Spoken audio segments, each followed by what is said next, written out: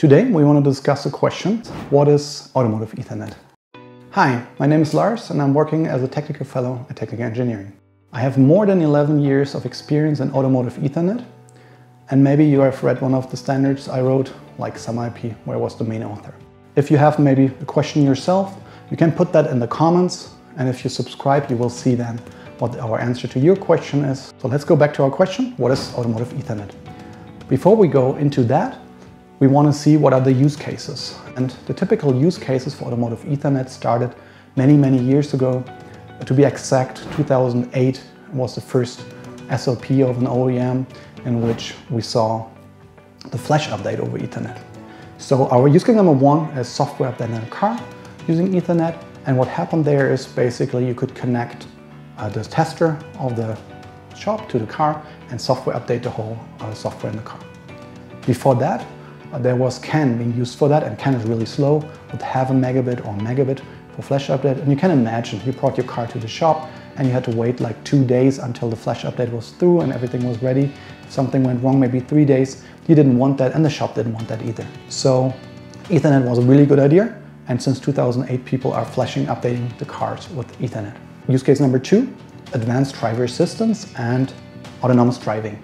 Those technologies you often see big data sensors like radar, LiDAR, or image sensors. Those all transport a lot of data over the network and they all can use Ethernet in order to avoid proprietary technologies. If you think about that, you could also have data between ECUs, electronic control units being transported.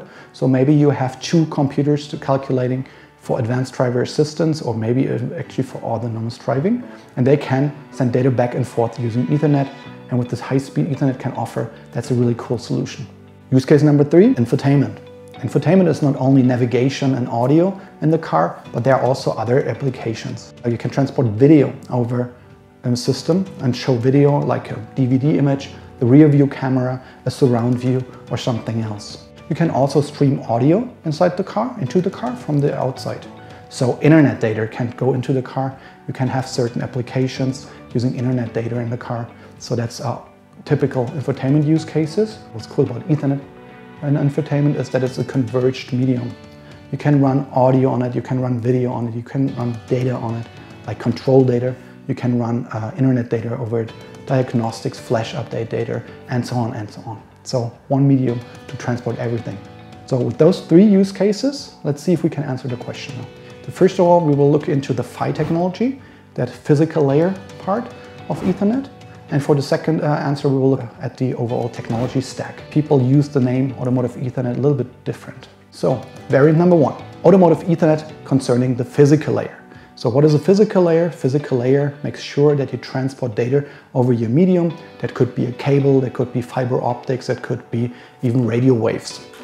On Ethernet, we basically have different requirements in the car that are a little bit different than what you have in the enterprise or what you have in your home, for instance, for Ethernet.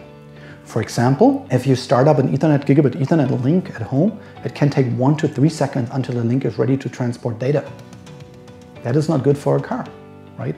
If you have something inside the car, you want that application to be available faster. Just think about that. You open your car, unlock it, and it takes five seconds to open the door, or starting the engine, or displaying the rear view camera on your display. That's not good for the car.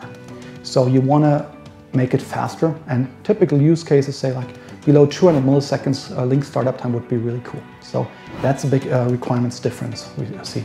But there are others. If you look at the connectors, for instance, in the enterprise for cables, we see typically the RJ45 connector, and we have a small figure for you to look at that. With that RJ45 connector, you have eight pins of that, so we have four twisted pairs of wire in there, and those have some problems in automotive because the automotive industry, you know, a vehicle is moving, so vibration and mechanical movement is an issue. And with that, of course, the connector has to somehow be stable in that environment. If it moves too much, the connector might lose the connectivity. So that would be a problem. So vibration, not so good with the regular connectors. The next thing would be humidity. If water gets into the connector system or the cable, you might get into trouble as well. So you want to avoid that as well. And here there are some solutions out there. Overall, If you really want to make it automotive capable, you also need to change the connectors and probably the cables as well. Talking about the cables, in the regular gigabit line, what you see here is a four twisted pairs, so it's eight wires. You have a shielding and then you have like a, a plastic shield, uh, sheath around it.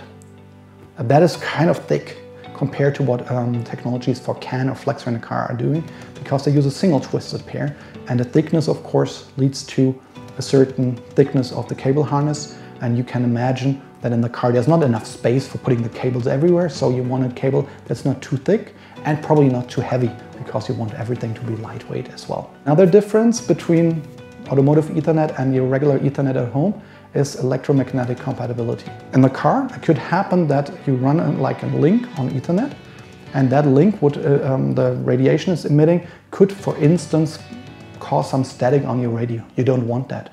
For that reason, in the typical car scenario, you have harder requirements on electromagnetic compatibility.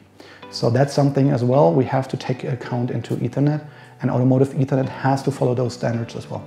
So overall, there's kind of different requirements here and we need to have different requirements on the automotive Ethernet. So let's now look with that know-how to our three use cases and see what that means for it. On use case number one, the software update in the car. We don't have those hard requirements really because the car is not moving, it's standing still in the shop. So if there's the radio perception is not perfect, probably nobody will care. So here we could use a regular standard 100 base TX uh, Ethernet that's the same thing you have in your notebook or your desktop PC if it goes for 100 megabit. That's where Ethernet in the car started. And since that can only be used for certain use cases, like the software update, but not for the driver assistance or the autonomous driving, I would not call that automotive Ethernet per se. It's Ethernet in the car, but it's not really that automotive Ethernet quite yet. Use case number two, driver assistance and autonomous driving. Here the technology has to work while the car is moving. Here the technology has to work all the time. Here we have to fulfill all the requirements we discussed before. If it's startup time, if it's uh, EMC, if it's weight, if it's connectors and so on. Everything has to work. And now we see a difference here and a difference has to be that the PHY is capable of that. So what happens here, special physical layer transceivers had to be created. So the physical layer had to be created. For automotive Ethernet, we see the 100 base T1 standard. It was first in cars 2013 and it basically is a physical layer that can transport 100 megabit in both directions at the same time over an automotive uh, cable and connector system on a single unshielded twisted pair. So you can shield it if you want to, but you don't have to. It depends a bit on your EMC requirements. Sometimes you might want to sheath the cable, so put a jacket around it to keep like the water from getting into cable, but that's up to the OEM to decide. After that, we saw in the last year's car coming to the market with faster Ethernet speeds in the car. We saw gigabit on the car, so 100 megabit now gigabit, and as well the standard for 2.5, 5 and 10 gigabit per second already out there, so you can use them and they can be put in a car pretty soon.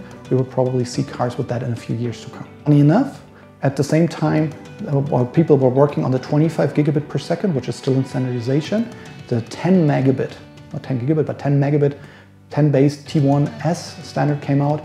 And now we can also have like a very slow 10 megabit Ethernet in the car.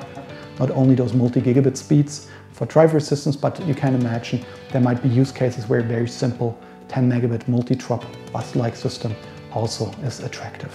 So that basically defined automotive Ethernet via the PHY. So the physical layer, special for us, but the automotive industry is kind of weird at times. And so one thing which is really for outsiders kind of curious that we use the name automotive Ethernet not only for the physical layer or maybe the MAC layer, which is Ethernet as well, but everything on top of that. So if you run on top of that, um, the MAC layer with VLANs, uh, you, you, run um, precision time protocol for time synchronization, you run certain QoS mechanisms like shaping, prioritization, policing, time-sensitive networking parts. You can uh, run like a TCP IP stack on top of that. You can run audio video bridging on top of that, AVB, and as well SOME/IP, the middleware for control messages. And of course, diagnostics over IP to flash update the car can run on top of that as well. Concerning the answer, what is automotive Ethernet? Either you define it by the PHY, so the PHY technology, the chips and the standards, or, as most people in the automotive sector, we define the overall technology stack with all the protocols on top of it as automotive Ethernet. I hope you found that answer useful. Hope to see you again in the next video.